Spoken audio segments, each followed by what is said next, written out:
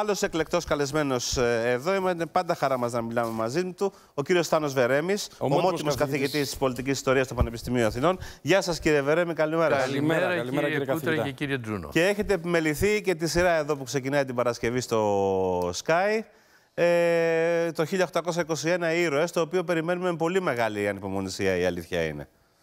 Είναι μια πάρα πολύ ενδιαφέρουσα σειρά, γιατί ξέρετε ξαναφέρνει στο προσκήνιο την παλιά μας αγάπη για τους ήρωες.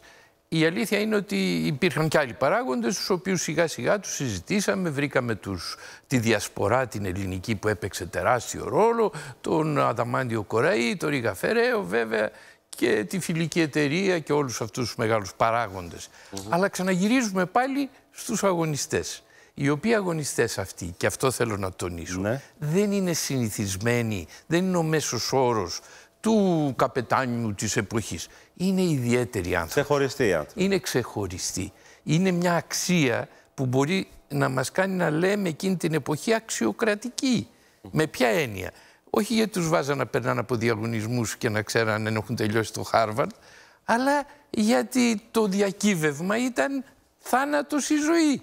Για να μπορέσει να επιζήσει ένας μεγάλος καπετάνιος, να έχει πολύ μυαλό.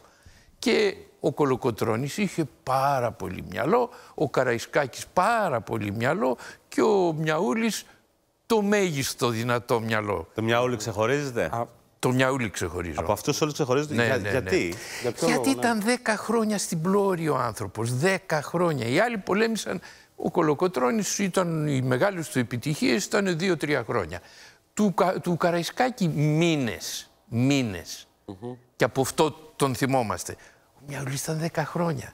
10 χρόνια Είχε και διάρκεια. Χρόνια στη δεν έχασε καμία ναυμαχία, έκανε τεράστια φθορά στους Οθωμανούς, τους εμπόδισε να διαπεραιωθούν στην Πελοπόννησο και στη Ρούμελη, ανεφοδίασε το Μεσολόγγι, έκανε μια επίθεση στον Ιμπραήμ στη Μεθόνη και του βούλιαξε 17 πλοία. Έτσι, από το πουθενά ήρθε, τους βούλιαξε και έφυγε. Ο άλλος έμεινε με το στόμα ανοιχτό και επιπλέον και το πιο σημαντικό απέφυγε τον εμφύλιο πόλεμο στη θάλασσα.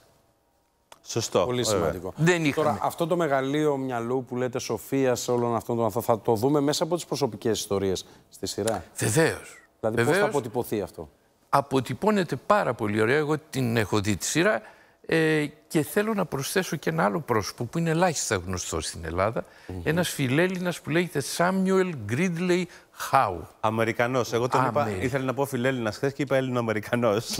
σχεδόν. Λοιπόν, σχεδόν. σχεδόν. Αυτός ναι, ναι. Έβαλε... τον ξεχωρίζετε; Πρώτον γιατί τέλειωσε το Χάρβαρντ και ήταν νεαρούλης, 21-22. Μόλις τέλειωσε το Χάρβαρντ, τη, την ιατρική παρακαλώ σχολή που είναι η μεγαλύτερη του κόσμου σήμερα και ήταν πάντα τρομερή, ήρθε στην Ελλάδα, έβαλε τσολιαδίστικα και πολέμησε τον Ιμπραήμ στην Πελοπόννησο ο άνθρωπος. Δεν πήγε να κάνει τον γιατρό. Αυτό και μόνον, ε, τον ξεχωρίζεις. Βλέπεις ένα ναι. λεβέντι, έναν άνθρωπο που έχει μέσα του ζωή. Και μετά έγινε γιατρός, τον κάνανε άρχη, ξέρω εγώ, το κράτος το ελληνικό εκείνο και αυτός έφτιαξε το υγειονομικό σύστημα της Ελλάδος. Αυτός το ξεκίνησε. Αυτός το ξεκίνησε. Το λέω γιατί, γιατί πέθαναν για ψιλοπίδημα οι φουκαράδες. Δηλαδή ο Hastings ή Άστινγκ στα ελληνικά, άλλος φιλέλληνας μεγάλος, έφαγε μια σφαίρα στο χέρι και πέθανε από τέτανο. Mm -hmm. Μερικούς μήνες μετά, δηλαδή άνευ λόγου. Και ήρθε ο Χάου, έφτιαξε. Και ήρθε ο Χάου και είπε ότι ρε παιδιά δεν βάζετε κοπριά στον τέτανο βάζετε ενόπνευμα. Άρα να το παρακολουθήσουμε με πολύ, γιατί πραγματικά είμαστε εντυπωσιασμένοι με την παραγωγή και ετοιμαζόμαστε. Yeah, αδειμονούμε να δούμε αδειμονούμε να την... Είναι ίσως και η κορυφαία παραγωγή για το 1821. Για τα 200 χρόνια εννοώ. Σίγουρα, ναι. σίγουρα, γιατί έχουν κάνει πολύ καλή δουλειά και, ως, και οι σκηνοθέτες και όλοι οι άλλοι παράγοντες. Οι ηθοποιοί είναι μια χαρά, παίζουν πάρα πολύ ωραία και ε, αν δείτε την μπουμπουλίνα την πραγματική και αυτή που εμφανίζεται, δεν το πιστεύετε. Είναι η ίδια; Ποιότητα. Όχι, η πραγματική είναι κουκλάρα. Ναι. Και αυτή είναι μια αντρογυναίκα, πολύ πιστική μπουμπουλίνα, δεν λέγεται, έθαψε δύο άντρες αυτή. Ναι. και πήρε και την περιουσία μετά και πολλά λεφτά. Και τα, και τα έβαλε στον αγώνα. Στον αγώνα. Και τα έβαλε στον αγώνα. Κύριε καθηγητά, κλείνοντας, να σας ρωτήσω και κάτι άλλο το οποίο δεν έχει να κάνει με τη σειρά. Γιατί περιμένουμε αύριο τη σειρά 9 το βράδυ. Έχει να κάνει με τη συμφωνία με τη Γαλλία. Τη θεωρείτε ιστορική τη συμφωνία; Όχι απλώς ιστορική.